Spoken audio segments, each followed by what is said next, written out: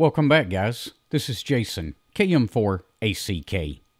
Today, we're going to take a look at rig control with Pat Winlink. Stick around and we'll get right to it.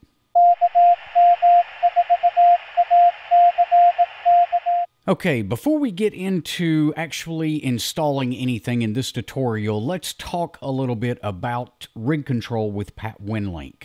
Uh, it does have a bit of a weakness. Uh, rig control, when you install it and get it configured uh, correctly for uh, Pat Winlink, will only change the frequency of the radio. It will not change the mode of the radio.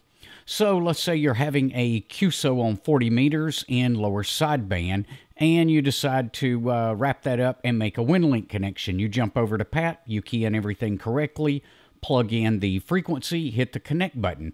It's going to change the frequency, but you're still going to be stuck in lower sideband because Pat's not able to change that. And with WinLink connections, they always happen on upper sideband.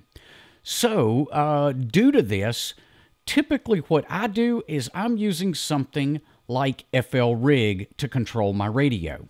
So I'll go in, make the appropriate changes using FL Rig so, uh, since it can do both the frequency and the mode. Uh, I'll use it. Then I open up PAT and I will only uh, plug in the call sign and the transport mode uh, information that I need, and then I'll go ahead and make a connection. I'll never enter any frequency information into PAT. Uh, so that's typically the way I run it. Uh, but if you do want full blown or as close to full blown rig control as you can get uh, with Pat, we're going to help you take care of that today. Now, with the software that we're about to compile, it's not only useful for uh, rig control inside of PAT.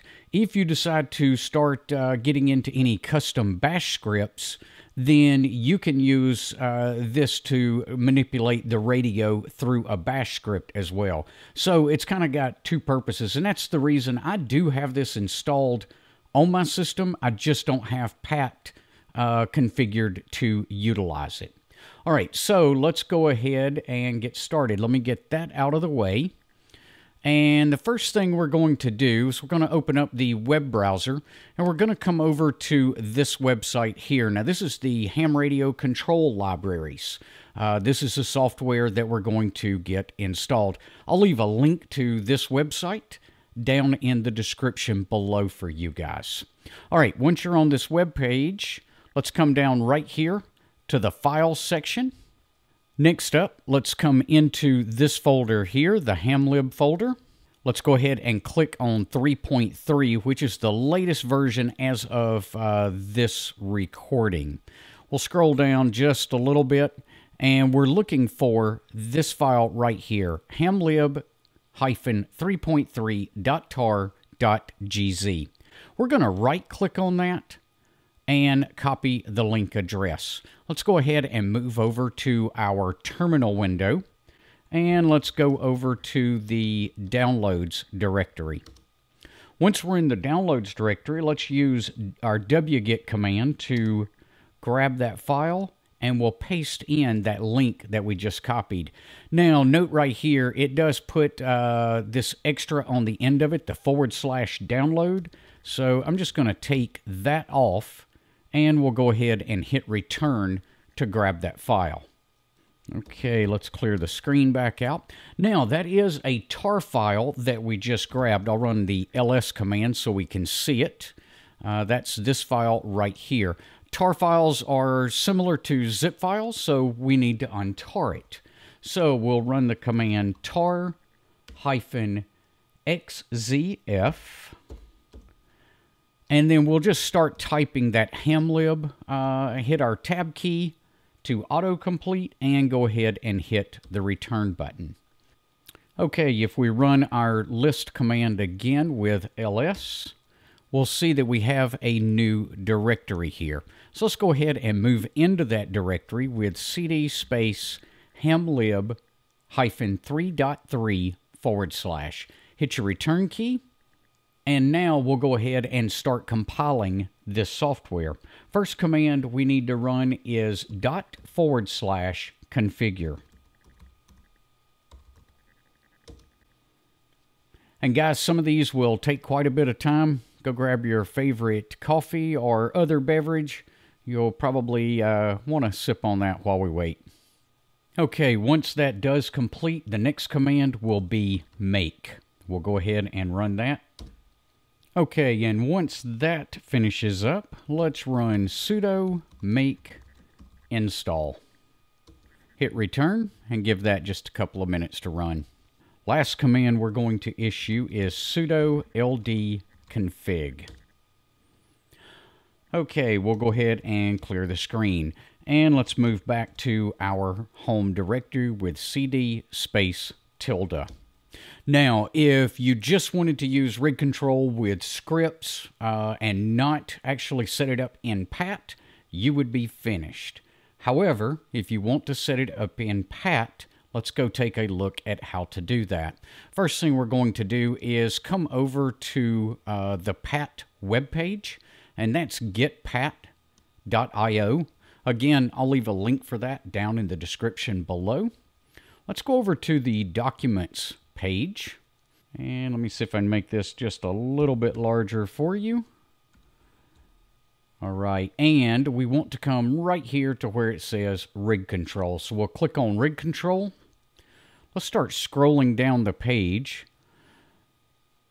Now here he's talking about setting it up. That's what we just did. Uh, we uh, we just compiled it from source instead of getting it from the uh, repositories. The reason I like to do that is that way uh, if the repositories don't have the very latest uh, Hamlib software, if we compile from source, we know we're always getting the latest.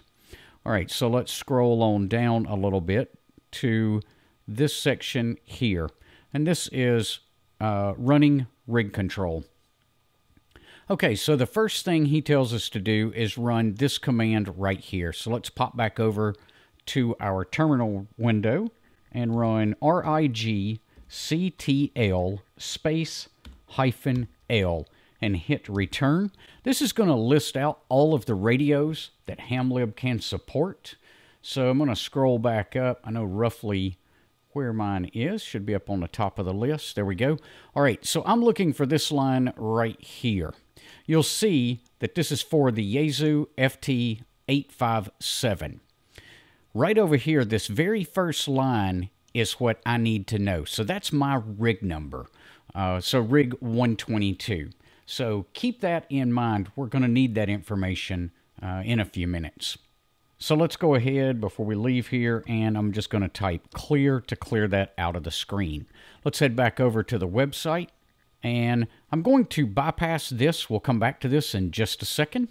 We're going to go ahead and do the PAT configuration for my particular rig. So I'm going to come right here in this uh, box, this code box. Oh, I actually missed something. You got to get this entire line right here. So I'm going to copy that, come back over to the terminal, and let's go ahead and type pat configure.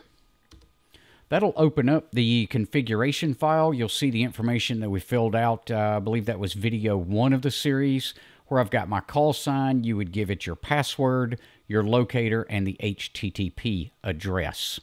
Let's start scrolling down. We're looking for this line right here, hamlib, hamlib underscore rigs. Let's come to right here and let's paste in that information that we just copied. Okay, now, right here where it says My Precious Rig, I'm going to take that out. This is the name of the rig. And guys, you can name this whatever you want to name it. Uh, I'm just going to use 857 because it's uh, quick, easy, and gives me references to which radio it is. Let's come on down. Now, we'll go ahead and configure the AX25 section for rig control. Uh, this will allow you, when you're running uh, AX25 connections for packet work, this will allow Pat to control the rig for that as well as ARDOP, which will be the other one. So right here, we're under the AX25 section. We've come down to where it says rig, and between these quotation marks, I'm going to type 857. And that is what I named my radio. If you named your radio something different, you'll put whatever you named your radio here. Scrolling on down, we're going to uh, skip this serial TNC connection. I'm going to skip the WINMOR uh, section because I don't use either one of those. And I'm looking for ARDOP, which is right here. And in that section, right here is where we're going to come down and go ahead and put, well, I think I just skipped past it. There we go. All right, we're going to put the 857 there again. Once we've done that, let's press Control X, Y, and Enter to get out of it. Okay, so let's head back over to the web page. Let's grab this line right here, and we'll go through this and kind of explain this. But I'm going to go over and paste this in. So what this is, this is going to start the rig control daemon. Uh, you can tell that it's a daemon with the dash D, I'm sorry, the uh, D at the end of rig control right here. Then we're going to say hyphen M, that's the model number of radio. Remember mine was 122, so that comes in here. Next, we need to tell it where our cat cable is located. Mine's plugged into the USB, so that's the hyphen R, and then the forward slash DEV forward slash TTY USB 0. And then the last thing, this hyphen S, is the baud rate of our serial connection. And that's 4800 in my case, and it matches what I've set up in the menu system of my rig. We'll go ahead and press return. It's just going to return to the next line. It's not going to dump us back out to the command line, but this tells us that this is running and waiting for connections. Okay, at this point, I'm going to press Control Shift T on my keyboard, and that's just going to give me a new tab. So I've still got the rig control daemon running in this tab, and in the new tab, I'm going to run sudo system ctl restart pat at pi. Now, the pi is your username. Uh, so if you set yours up, you know, when we were setting up the uh, system services in uh, one of the previous videos, if you set yours up uh, with a different username because you, you're not using the default Pi username, you'll have to change that here. But if you're still running Pi as your username, this will work perfect for you. We'll go ahead and hit return and it'll dump us back out to the command line. Let's head over to the PAT mailbox now, and you can see right here that we have the dial frequency of the radio. So it went ahead and read the radio and can see that it is uh, the radio is sitting at 7.078. Okay, so now when we are ready to make our connection, we'll click Action, Connect, I'm going to choose ARDOP for my transport mode. And I'm going to enter the call sign K0SI. And then for the frequency, I'm going to enter 7102. We'll go ahead and hit the connect button. And you'll see the radio. Whoops, looks like I forgot to start my ARDOP modem. Let's try that again, guys. Uh, Let's see, I'm going to minimize all of this, come out to the screen where we created our, our uh, shortcut. We'll double click on that, click execute in terminal. We'll give this just a second to get up and running, and then we'll head back over to the pat uh, mailbox and try that again. All right, so we see some input peaks coming. All right, so let's try that one more time. Let's hit connect, ARDOP for our transport, K0SI for our target, 7102 for our frequency. We'll go ahead and hit the connect button again, and this time we should see that the rig is QSYing to 7102, and it's starting to make that connection. All right, guys, well, I hope that helps you get rig control working on your system. Uh, I kind of hope it helps you make a decision on which direction you want to go uh, with rig control. Do you want to try to do it in PAT? Had you rather just stick with FL Rig? Uh, personally, I use FL Rig uh, and, and just skip it altogether in PAT. Anyway, hope this helps you out. Be sure to give us a thumbs up, click that subscribe button before you head off, and we will see you guys on the next video. Until then, 7-3.